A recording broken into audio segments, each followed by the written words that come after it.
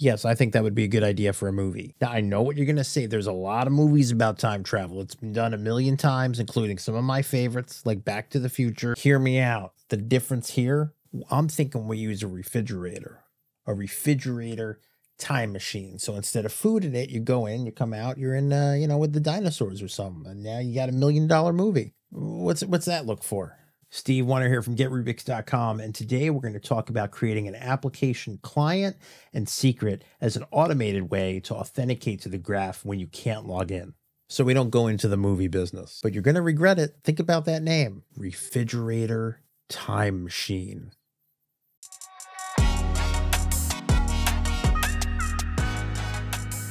Get Rubix, solving for the modern workplace. Okay, so we're going to start in a little bit of an unusual way. This is something we're going to work on in an upcoming series. Um, what we're doing is we're going to uh, deploy this through Intune. It's going to be a PowerShell script. It's going to go to all devices. It's going to get the Intune ID of a local device. It's going to get its compliance state. If it's not compliant, it's going to add it to an Entra group for not compliance. However, if I'm going to run this on every device, it's going to run by itself. How am I going to authenticate to the graph?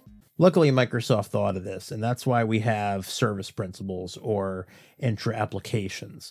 Basically, these are entities that we assign permissions to that can already authenticate to different areas for us, and we could build these into our scripts. Now, there's different ways to secure it. We're just going to be focusing on what's known as a client secret. Think of it as a password. Um, but in production or in you know much larger environments, you're going to want to take different measures of securing access to that. Uh, so you can explore other options. But just for the sake of this, we're going to use the client and the secret. So to get started, we have a user. I think that's a pretty good looking user. The user is trying to access Entra ID or Azure or whatever. So the way it typically works is the user exchanges a username and password. And if the username and password are validated, Entra will return an access token to the user. That token can then be used to do things like access the graph through PowerShell or um, certain APIs or connect to an Entra application, whatever it is, right? Sign into Intune. That's what the token is. Now, what happens if you take the user away? Well, you can see there is no one to give a username and password, and this is why we need something uh, that we can embed in our code, and that's where the application comes in. So let's rework this a little bit instead of the username and password, we're going to change this to client ID and client secret. So what we've created inside of Azure is an application registration, which is this guy right here. And this can be permissioned. So we can say, I want this to have device management, read, write, all. Or I also want it to have user read all whatever permissions that you want to provide to this object, you can. So now what happens is when we embed this into our script or function or whatever we're doing, we can have this client ID and secret automatically exchanged to return a token that has those permissions. And it can use those permissions to access whatever we were going to access as the user. All right, so let's walk through making our own app registration and giving it the permissions we would need to complete our device compliance check thing I was talking about earlier. So we go to entra.microsoft.com. You're going to go down to applications and hit app registrations. And this is where we go to new registration. So we're going to call this compliance checker since that's going to be the name of our solution. Really doesn't matter what we call it. Um, we're going to leave everything here on default and just click register. And immediately we are given the first part of the puzzle, the application or client ID. So we're going to put that in a safe space. So I recommend a notepad and we'll say compliance checker client ID. That's my client ID. Now I have to give it permissions. So I'm going to click on API permissions Okay, and we're going to go to add permission. So in my case, this app is going to do several things for me. Uh, so I am going to use application permission. This means I am permissioning this application on its own without the need for any user to sign in.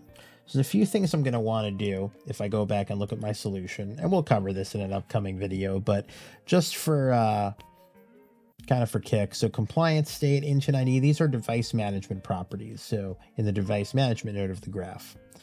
Uh, Entra ID, device ID is going to be just devices. And I'm also going to need access to write to groups. We can start by looking up device management. You can search for the fields you want. Device management. I'm going to need device management, manage devices. I need to read all because I'm just going to be reading. I'm going to add another permission for just devices. And for that, I'm going to need to read write all. I'm going to need devices, read all. And lastly, I'm going to need groups. And for group, I'm going to need groups read write all. And I hit add, and now you can see my app has all those permissions, but they're not consented. I have to click grant admin consent for Rubix Dev. Now that I've assigned it the permissions, they're all ready to use. So this app ID has the same privileges as the user signing in uh, with an Intune admin or a global admin account would have. So we need our secret. We're going to go to clients and secrets and we're going to hit new secret. Uh, I don't really know what to name it. You can set it for a certain expiration if you want. It could be custom. You can set it for today and have expire tomorrow. You can set it for recommended, which is, mm, I think it's 180 days. We'll leave it at that. And I click add, and now I have a secret. It's very important to know you have two numbers here. The secret ID which is fairly worthless to us. We want the secret value. So you can just hit copy next to value and get the whole thing. And I'm going to put this in my notepad. Don't worry. Um, by the time you see this, I will have deleted this. So I'm not giving you a client secret to my environment because um, that has some pretty powerful permissions to it. So great, I have these. So now that I have these, what's the point? Well, notice in our diagram, when we have the client ID in secret, we have to have a way to pass them up and get an access token back. One more thing to think about is if you're deploying this through Intune and running on all devices, you're not going to want to install PowerShell modules on all those. You're just going to want to do this with the built-in PowerShell. You don't want to push Microsoft Graph Intune and have to install all these modules first. So I'm going to show you how we can write our graph calls without the MG Connect or MG Graph Request module. So we're going to need a few things. We're going to need the client ID. We're going to need the client secret. And then we're going to need the tenant ID. And we are going to put a resource in. And the resource we're trying to hit with this is https graph.microsoft.com. And that's it. So that opens us up to the whole thing. Let's fill in those variables. Now, tenant ID, you can go back to your Entra portal, click on overview, and just copy your tenant ID. Okay, so we have all of our variables. Now let's go ahead and make a call to that endpoint in order to get a token. Same thing as if we're typing in a user ID and uh, password, only the thing that we're typing to. So we're going to call that the token endpoint. And that is going to be HTTPS uh, login dot Microsoft online dot com slash we'll put the tenant ID here. Tenant ID dash O auth to to uh, v 2.0 slash token. And that's basically saying hey we're going to give you credentials endpoint and we would like the token back. Now let's give it the credentials. So it needs a body because that's how we give things to endpoints in this world. And what do we need? Client ID is equal to the client ID. Client secret equal to the client secret. The scope is going to be the default one. So it's going to be the default for our resource, which, which is the graph. So we're going to call that resource default. And the grant type and what how to get us in there is client credentials. Now that we have the body, we just make a post call. So we're going to put it in a variable called token response. And that's going to be equal to invoke. Now, it's not going to be mg graph request. It's going to be something more generic because remember, we're not putting the module on these devices. So it's going to be called rest method. And this is available in PowerShell by default. So it still takes the URI. Um, we're going to give that the token endpoint up top. So we're going to say token endpoint. The method is still a post, and the body is the body. We do have to add a content type, and the content type for this is going to be as follows. It's going to be application x www form URL encoded.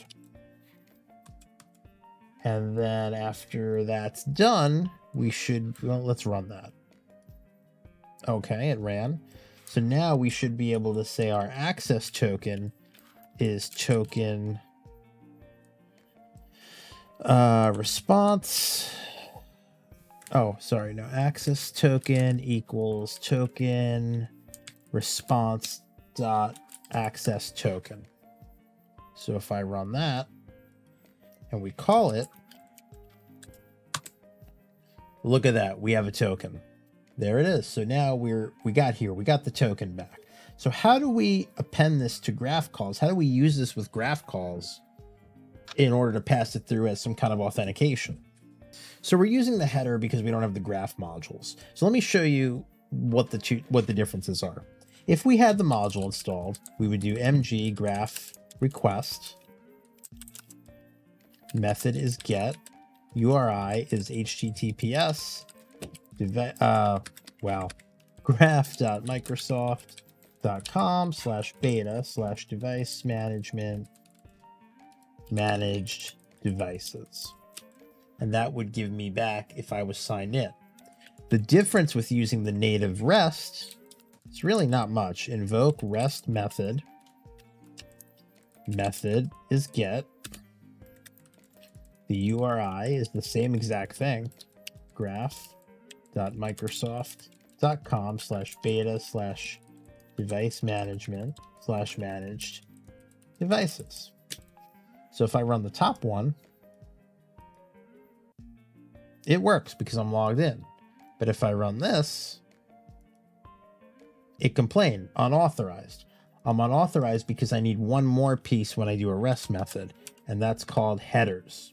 So the headers object is how we take our access token and pass it through with the graph request, the, the REST method, to say, hey, here's our authorization.